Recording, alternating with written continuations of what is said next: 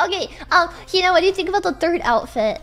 Third outfit, I would probably die in this outfit if I wore it to a rave. I feel like that's the coolest outfit you could wear to a rave, though. It's given That raw XD. What are the requirements for a good rave outfit? You have to be able to move. As long as it's uh, breathable. Uh, but like, she's not wearing any clothes in this in this one. Someone said naked, and that's pretty much it. Oh, um, Just wear a bikini. um, do not do that. It's against God unless you're at the beach. You just pull up to the to the to the party butt naked, only pasties on. you can wear a bikini. You can wear, you can wear uh, lingerie. That's pretty doable. What? Just out in public? I mean, yeah, that's what all the girls wear. Okay, I don't know. I don't know what you're supposed to wear or not at raves.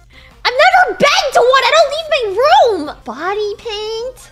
You can pretty much just wear a t-shirt. Okay. Yeah, t-shirt and no pants. Oh, at least underwear, Yeah. right? Yeah, yeah, you can wear. Okay. Are you supposed to wear underwear to raves? Is that like a re- the requirement to not? Like, huh? Can you wear Yeah. assless chaps? I'm asking. Can you wear assless chaps to a rave? I pretty yeah, I think you can. I think you can get away with it. Oh my god. Wait, what do you mean all chaps are assless? What are chaps? I thought they were pants for cowboys. what